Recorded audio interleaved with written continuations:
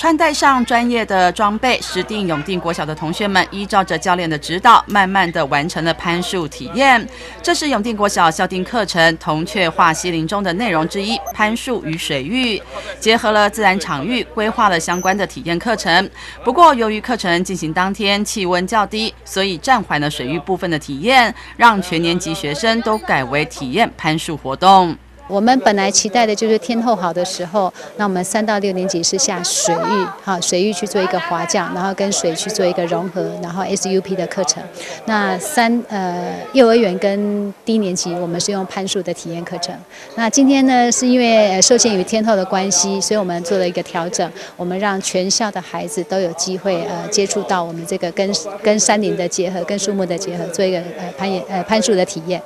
校长林养芳表示，五年前因应一零八课纲规划了一整套的课程，内容包括了铜雀玉银树、铜雀化西林、铜雀印百亿、铜雀一飘盼四大主轴，也正好依着四季进行。而由于疫情的关系，铜雀化西林暂停了两年，今年终于可以再度恢复办理。虽然部分的孩子两年前可能体验过，但这次的攀爬又是不同的感觉。而从来没有攀树经验的孩子，则是既期待又紧张。第一次爬吗？对，嗯，那上去爬上去的感觉怎么样？很高，然后呢，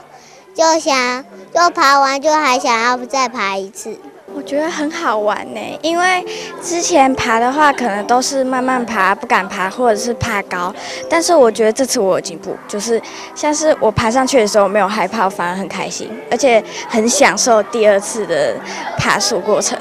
除了国小的孩子外，幼稚园小小孩也同样参与了这次的攀树体验。虽然年纪小，但表现非常淡定和勇敢，也能够听取教练的指令，一步步往上爬。校长林雅芳就指出，永定国小拥有绝佳的自然场域，所以将课程结合了学校特色，让孩子从体验中获得最真实的感受。孩子他能够去感受到说，从开始的期待。甚至开始可能有一些担心跟害怕，那到这个中间在攀爬的这个过程当中，他用的体力，他用的一些技巧，他也聆听了别人给他的指导，那亲自去做感受，那孩子会克服了他的恐惧。那么我们刚刚看到，其实孩子他下来之后，不管每个上去的面容如何，下来之后他们都告诉我说，他们愿意再尝试第二次。透过了攀树体验活动，永定国小的孩子们学会了面对恐惧、挑战自我的极限，并且体验到了成功的喜悦。相信这次铜雀化西林攀树体验将成为他们美好回忆的一部分，